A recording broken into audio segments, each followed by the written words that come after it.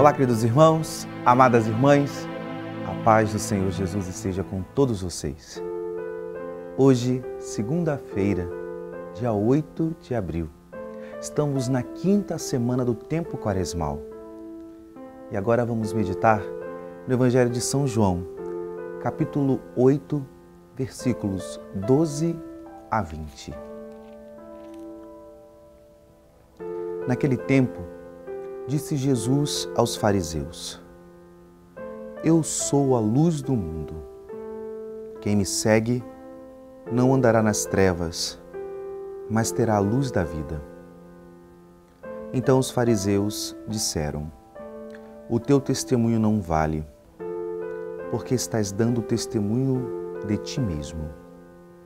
Jesus respondeu: Ainda que eu dê testemunho de mim mesmo, o meu testemunho é válido, porque sei de onde venho e para onde vou. Mas vós não sabeis de onde venho, nem para onde vou. Vós julgais segundo a carne, eu não julgo ninguém. E se eu julgo, o meu julgamento é verdadeiro, porque não estou só, mas comigo está o Pai que me enviou. Na vossa lei está escrito que o testemunho de duas pessoas é verdadeiro. Ora, eu dou testemunho de mim mesmo e também o Pai que me enviou dá testemunho de mim. Perguntaram então: Onde está o teu Pai? Jesus respondeu: Vós não conheceis nem a mim, nem o meu Pai. Se me conhecesseis, conhecerias também o meu Pai.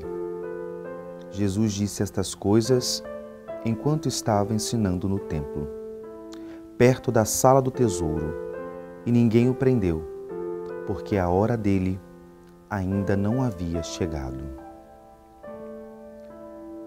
Palavra da salvação. Nós estamos na semana que antecede a grande Semana Santa da nossa salvação. E nós acabamos de escutar nesse Evangelho de São João esse, esse versículo tão famoso de Nosso Senhor. Eu sou a luz do mundo. Nós também podemos entender esse tempo quaresmal como esse tempo de sermos iluminados por Deus.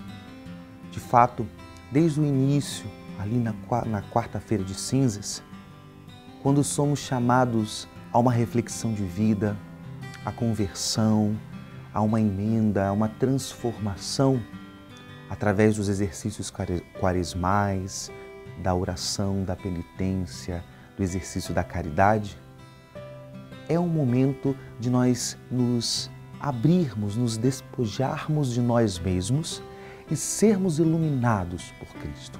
O tempo da quaresma também pode ser entendido a partir da inspiração desse versículo, como tempo de a luz de Deus vir até o nosso encontro e dissipar as trevas e deixar tudo claro, tudo transparente, tudo nítido.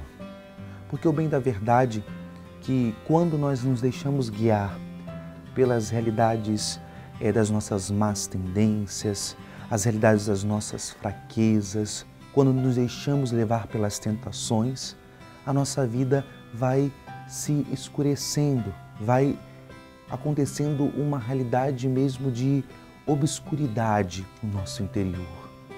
E o tempo da quaresma é o tempo de da luz de Deus iluminar e talvez esclarecer a nossa realidade, por mais complexa que seja por mais difícil que seja, é tirar a cegueira.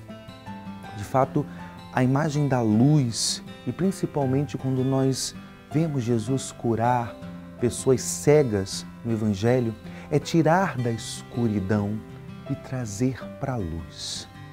E quando nós ouvimos essa palavra, que o Senhor é a luz, de fato, nesse tempo da quaresma, eu e você podemos é, nos deparar com realidades muito desafiantes, difíceis, complexas em nós mesmos.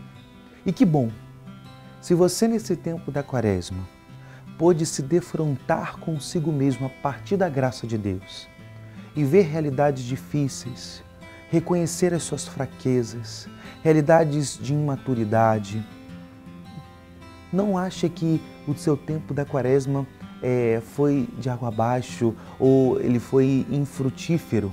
Pelo contrário, quando de fato a luz de Deus nos tira da escuridão, traz à consciência realidades que nós precisamos melhorar e nos dá a força para buscar em Deus a graça da cura, da libertação, da maturidade, do crescimento, eis aqui a conversão está acontecendo.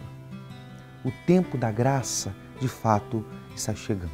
Por isso, quando escutamos no desenrolar dessa passagem a questão do discurso sobre o testemunho, no tempo da quaresma é bem claro qual é o testemunho do cristão.